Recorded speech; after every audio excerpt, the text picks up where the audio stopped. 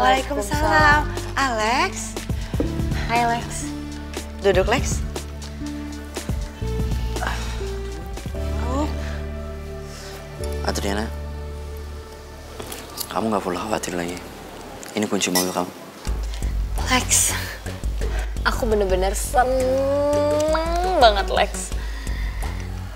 Mungkin rasa terima kasih aja nggak cukup buat kamu karena kamu udah nolongin aku dan ngembaliin mobil aku.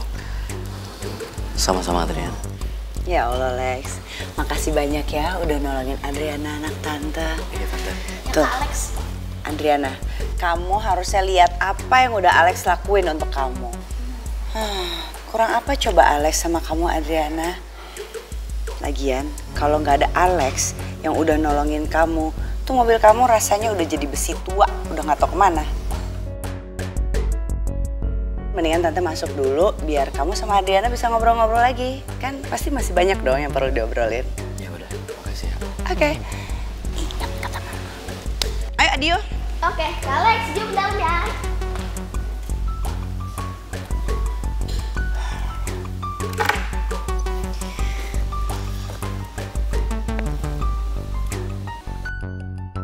Lex. Aku mau nanya sesuatu sama kamu. Nanya apa Adriana? Kenapa kamu masih mau nolongin aku? Padahal kamu tahu sendiri sikap dan perilaku aku ke kamu seperti apa dan bagaimana. Ditambah lagi kamu kamu tahu kalau aku masih belum bisa ngelupain boy. Aku udah ngomong sama kamu. Bukannya kemarin itu kamu sempat sempat marah dan udah cuek sama aku. Tapi yang aku heran, kenapa kamu masih mau bantuin aku? Adriana, aku minta kamu melupain omongan kamu yang barusan. Aku nggak pernah nggak peduli sama kamu. Aku selalu ada di samping kamu, Adriana. Baik kamu suka atau tidak. Baik kamu benci sama aku atau tidak. Aku akan selalu ada di samping kamu. Kamu tahu nggak kenapa aku bisa bertahan di samping kamu? Walaupun kamu ngelakuin aku yang nggak semestinya. Karena kamu selalu ada di hati aku, Adriana. Kamu sudah ada di hati aku. Dan aku udah terlanjur mencintai kamu, Adriana. Bila itu terjadi, aku nggak akan bisa mencintai wanita lain. Siapa pun itu. Mungkin menurut kamu, aku cowok yang kolot kali ya. Hanya bisa mencintai satu wanita seumur hidup. Karena cinta aku sama kamu membuat diriku kuat, Adriana. Kuat menghadapi semua yang kamu ngelakuin ke aku.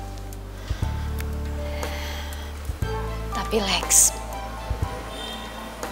kemarin aku ngerasa betul kalau kamu tuh nyuekin aku.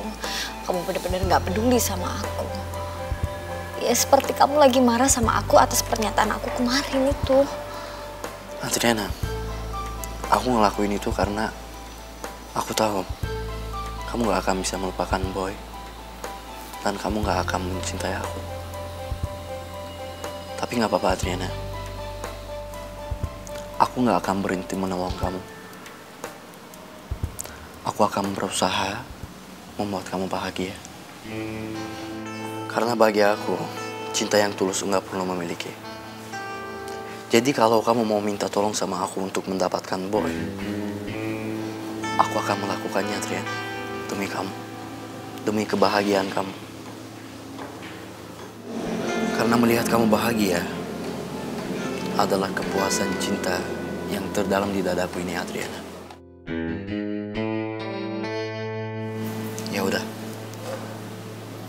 Aku pamit dulu. Assalamualaikum. Waalaikumsalam.